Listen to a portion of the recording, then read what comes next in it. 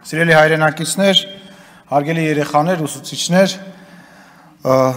ես նախ խոսեմ բուն թեմայի մասին։ Այսօր շատ խոսվեց դատարանների վերաբերյալ կարծիքի մասին, այո, նենց չի, որ իշխանությունը դատական իշխանության աշխատանքից, օրենսդիր իշխանությունը դատական իշխանության աշխատանքից գոհ է եւ մենք դրա մասին բազմիցս խոսել ենք եւ դրան է միտված եղել եւ դրան է միտված այն դատական բարեփոխումները, որոնք որ իրականացնում է, իրականացվում են եւ այդ բարեփոխումներն են, որ իմ կարծիքով օր-օրի լավացնում են դատական իշխանությունը եւ դրա ապացույցները բազմաթիվ են եւ երբ որ ընդդիմության ներկայացուցիչը խոսում է բլոկնոտների մասին, մի քիչ ինձ համար զարմանալի է, որովհետև հենց իրենց մոտ կա մի падգամավոր, որ այսօր ես դահլիճում մաշենքում չեմ տեսել, որը որ հայտնի է ըստ մամուլի հրապարակումների հենց այդ բլոկնոտներով Ռոբերտ Քոչարյանի իշխանավարման տարիներին, որ զանգում էր դատավորներին, գոռում էր, որ դատարանները օգտագործում էին մարդկանցից բիզնես խլելու համար,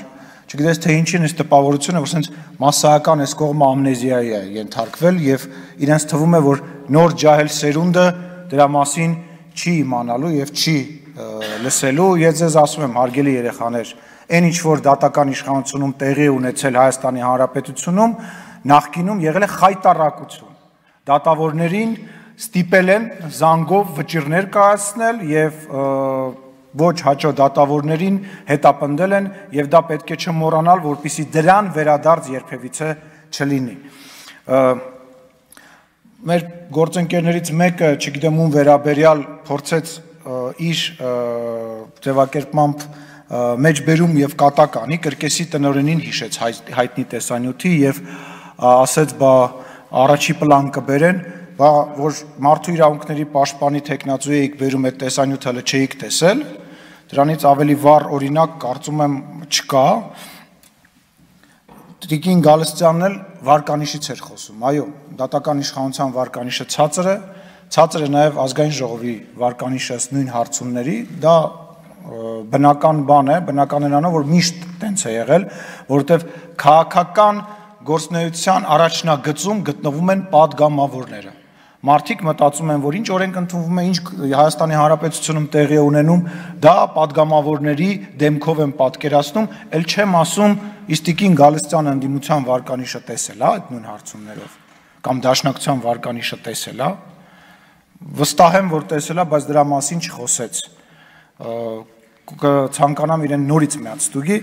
եւ վերջում ուզում եմ անդրադառնալ այն միջադեպին, որը որ տեղի ունեցավ, որ ես պարոն Նաղազարյանին եւ Արտուր Սարգսյանին նկատողություն եմ նախազգուշացում եմ հայտարարում եւ ինչ եմ սա շեշտում այստեղից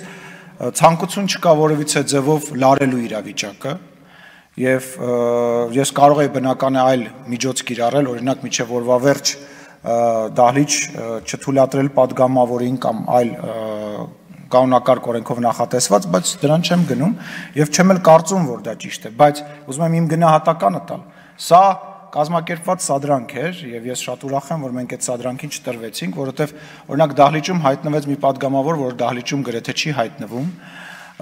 Իշխան Սաղաթելյանը նախքին իմ տեղակալը որը ազգային ժողովի մասին ասում էր Սալեն Սիմոնյանի բիսեդկեն չի այո, սա Ալեն Սիմոնյանի բիսեդկեն չի, բայց նաև ձեր դուքյանը չի եւ ձեր հյուրանոցը չի կամ ձեր հիմնարկները չեն, սա Հայաստանի Հանրապետության ազգային ժողովն է եւ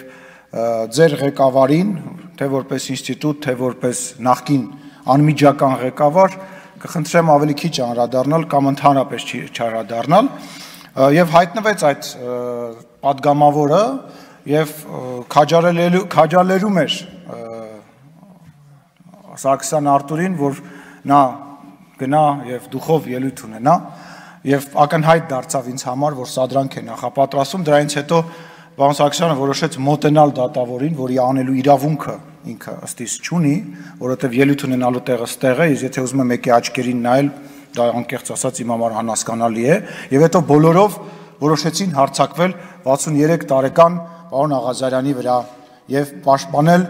պարոն Սարգսյան, ես անկեղծ ուզում եմ լրագրողներն էլ հասկանան ու ներկայացնեն թե ինչ կատարվեց այստեղ դրանից հետո իրանք հասկանալով որ քաղաքացիական պայմանագրի падգամավորները որևիցե կերպ չեն մտնում այդ սադրանքի մեջ